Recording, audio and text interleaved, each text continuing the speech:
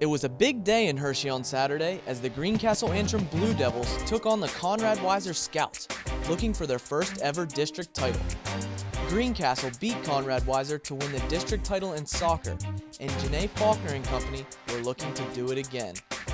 Early in the first, it's Faulkner getting things started. She jumps in front of this pass and takes it coast to coast to get the Devils on the board. Then, it's Faulkner again with a three from the top of the key. But she wasn't the only one hot from beyond the arc. Later, Faulkner shoots a pass to Jane Herman, who slides the ball to an open Hannah Christ for three.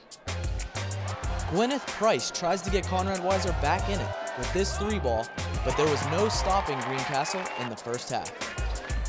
Jane Herman gets in on the action with a three ball of her own, and on their next possession, it's Katie Gelsinger with a smooth stroke from the post. Greencastle shot 12 of 26 in the first half, were 7 of 13 from deep, and went into the break with a 32 17 lead. But Conrad Weiser got back into it. Kirsten Ingram got things started for the Scouts with this three ball from the corner. Then, Hannah Races finds Anouk Ooms down on the block and she drives the lane for two. And Price gets back in the action with this driving lane. Conrad Weiser came back from an 18 point deficit to cut it within four late in the game.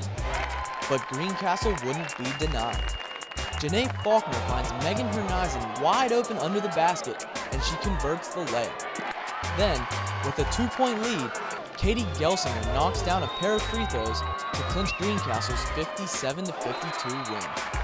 Um, it's amazing to win. Like I said, for us to do it in soccer and then come back and beat the same team in basketball, that I don't think I've ever really heard of a group of girls doing that. And to play beside them, I couldn't be more honored. It's been amazing.